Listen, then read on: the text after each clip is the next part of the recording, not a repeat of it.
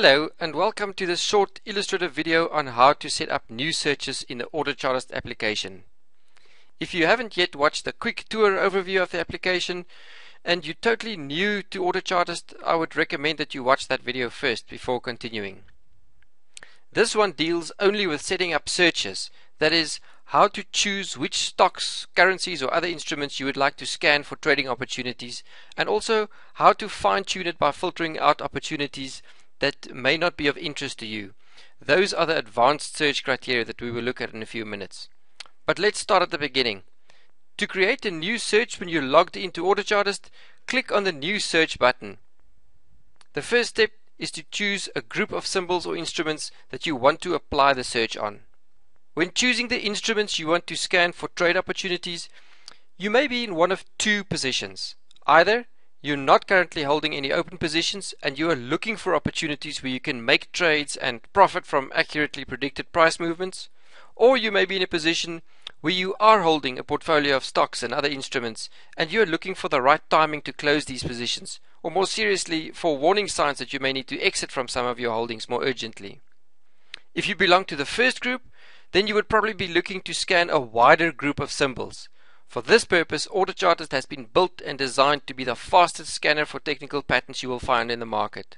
It scans more than 10,000 symbols every minute on 5 different time granularities from 15 minute graphs to end of day graphs. In this approach, you would want to set up your search with a predefined group of symbols that you can select from a drop down list of group names. Be sure that the Groups radio button is selected.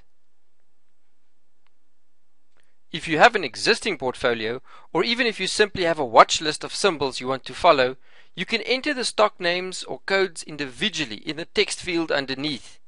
Here, you must make sure that the Symbols radio button is selected.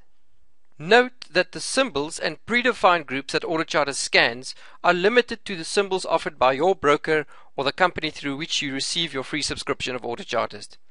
The most comprehensive list of symbols and market exchanges is available on our direct version. That is currently available on our website at a monthly subscription fee. So if you cannot find the symbol you're looking for, it may be that it is not included in your version of AutoChartist or what it could also mean is that the symbol does not have enough liquidity for AutoChartist to be able to identify meaningful patterns. Because the AutoChartist analysis rests on the theory of market psychology, a certain amount of market and price action is required for a symbol to be included. Most large liquid stocks and instruments are included, however.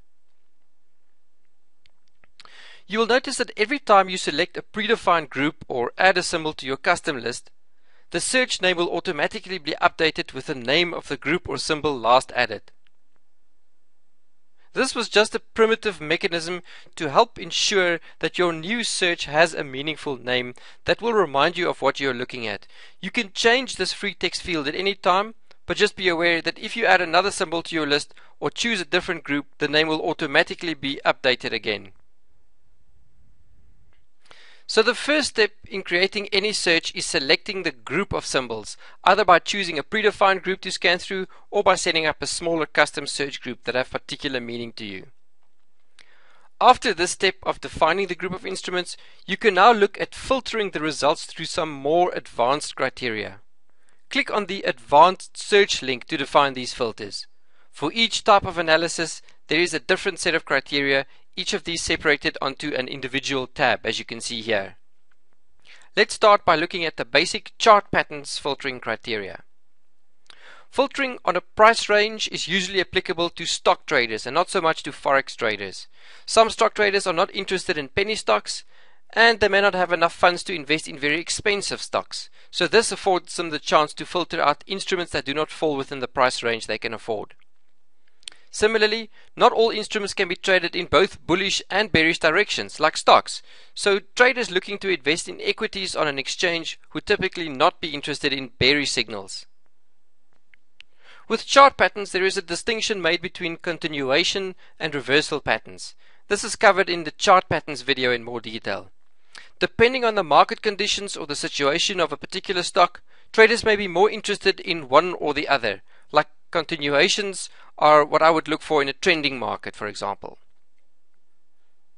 The pattern length simply reflects the number of candles or bars over which the pattern has formed. A general rule of thumb is that patterns forming over greater length are generally more reliable. But remember, look at the pattern length in conjunction with the time interval, in other words the duration of each individual bar or candle. Next you can choose the minimum required scores of the various quality indicators. Quality indicators get rated on a number somewhere from 0 to 10. What you are selecting here is the minimum requirement. So you will be filtering out everything that does not have at least that level of quality on a particular indicator. Now this is a common mistake made by people first starting out with Autochartist, that they set these criteria to levels that are too high and the search returns with no results or an empty list because there were no patterns detected that meet such stringent quality requirements. So I would always advise users not to set more than one or two of these filters at a time and then to use realistic values, not 8, 9 or 10, but rather 5, 6 or 7. If your search delivers enough results, you can always come back and tighten your filtering criteria later. And if you're unsure, I recommend that you leave these filters untouched at first.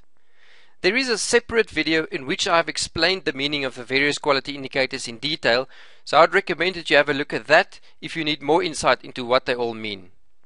Finally, if you're interested in only a selection of pattern types, you can uncheck the ones that will not be of any use to you.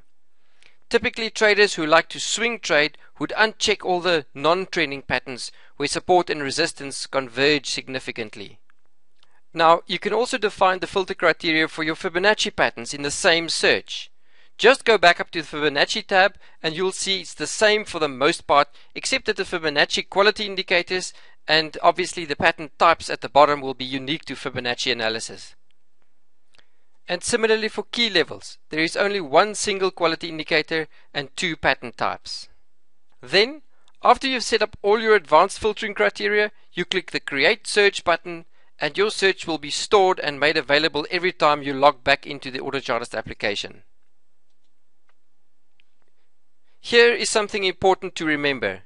If your search turns up with no results, it probably means that one or more of your filtering criteria are too aggressively optimistic. You may need to tone them down a notch or two. Other than that, this is about all there is to setting up your own custom searches.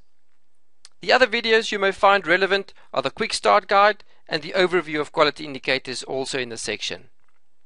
If you're having trouble using the platform, we would love to help you. Just contact us on support at. Thanks for watching this video.